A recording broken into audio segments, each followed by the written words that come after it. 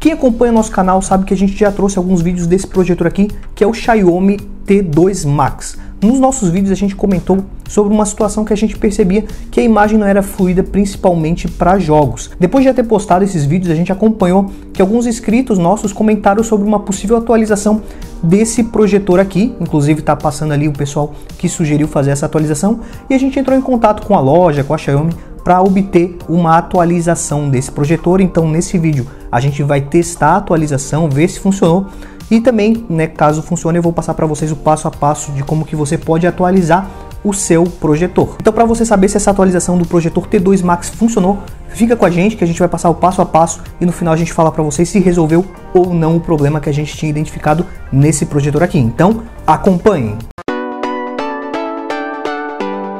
Então para fazer a atualização desse projetor é bem simples, tá? A gente recebeu as instruções lá da loja onde a gente fez a compra desse projetor, que foi na loja Banggood, até vou deixar o link do projetor lá na Banggood para vocês na descrição do vídeo. E o que, que a gente tem que fazer para fazer essa atualização?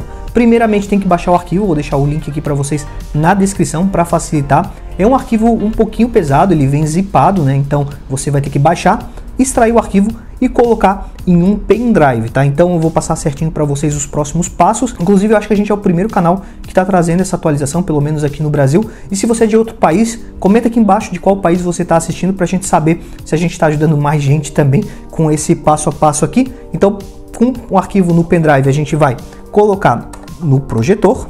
Então aqui a gente vai plugar aqui atrás, né? Qualquer pendrive o arquivo, ele é, como eu falei, é um pouquinho pesado, então precisa de um pendrive que tenha pelo menos 1 ou 2 GB livre. Você vai colocar só esse arquivo lá, é, né? Depois de extrair, só esse arquivo, deixa lá na pasta principal, pluga ele. O próximo passo é a gente clicar no botão Power e ficar segurando durante alguns segundos até que comece a piscar e o projetor ligue né, já no, diretamente no sistema de atualização. Então a gente vai ter que aguardar agora alguns minutinhos né, até ele terminar essa atualização e depois de terminar a atualização ele vai automaticamente desligar o projetor, quando ele desligar, a gente volta a ligar ele normal, dando um clique aqui em cima né, no projetor, ele vai ligar. Aqui demorou um pouquinho para ligar, então a princípio é normal, não precisa se preocupar, demorou alguns minutos para ligar. Então depois de ligar o projetor, a gente vê aqui que já está atualizado e a gente agora vai testar para ver se essa atualização resolveu, né? A gente vai jogar um jogo de futebol no PlayStation, que foi onde a gente identificou mais facilmente a questão da fluidez, né? Inclusive tem um vídeo da gente jogando no projetor, né? Jogando vários jogos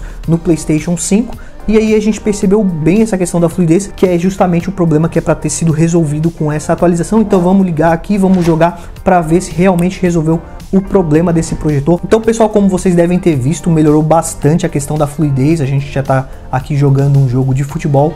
A princípio, estou bem satisfeito. A atualização resolveu o problema. Uma única criticazinha que eu acho que como é um projetor aqui com sistema operacional tem acesso à internet, essa atualização já poderia ter vindo automática, né, diretamente pelo sistema Android, né? Mas a gente tem que fazer essa atualização que não é muito difícil, mas é um passo a mais, né, que poderia ser automático aqui pelo sistema, né? Tem alguns outros tipos de produtos que se atualizam automaticamente quando tem uma atualização desse tipo, mas a princípio resolveu o problema, então se você estava com essa dificuldade, estava achando que a imagem não estava muito fluida, pelo menos aqui no nosso teste inicial jogando no videogame, vocês podem ver que realmente está bem mais fluido. Inclusive agora a gente pode dizer que esse projetor sim é uma opção bem interessante quando você está procurando um projetor Full HD. Em breve, inclusive, a gente vai trazer uma comparação entre esse projetor e o VP6, né, que é hoje o projetor Full HD que normalmente a gente mais recomenda aqui no canal. Né? A gente, na verdade, vai ter que regravar essa comparação porque já estava gravada e aí como surgiu essa atualização a gente vai ter que refazer, mas em breve vai estar tá no canal também para vocês darem uma olhada como que realmente esse projetor